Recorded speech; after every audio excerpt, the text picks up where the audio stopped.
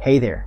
Today, I'm talking about the philosophical bedrock of quantitative research positivism and post positivism. These paradigms shape how we view reality, knowledge, and the investigative methods we use. So, let's break them down.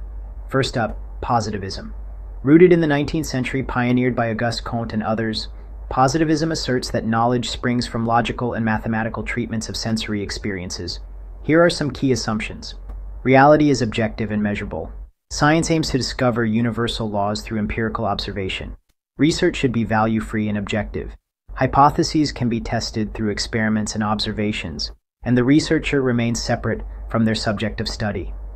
In the realm of quantitative research, positivism heavily influences the use of structured instruments like surveys and experiments.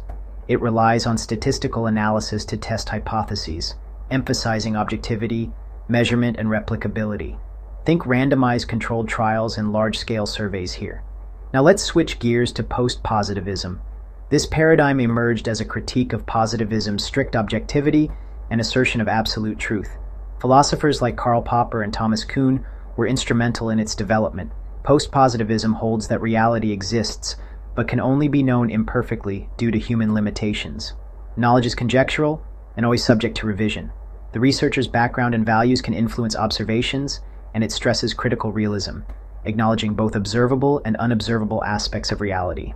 Instead of verification, post positivism favors falsification, disproving hypotheses. In quantitative research, post positivism still uses empirical methods and statistical tools, but with an awareness of potential biases.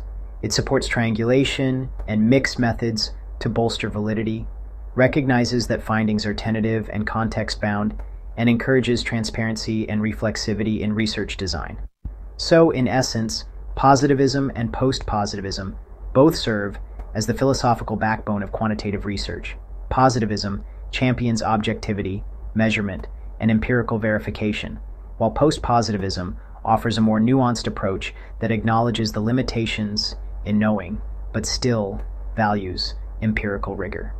Together, they guide researchers in producing reliable, replicable, and valid knowledge using quantitative methods. That's it for today. Thanks for watching. Catch you next time.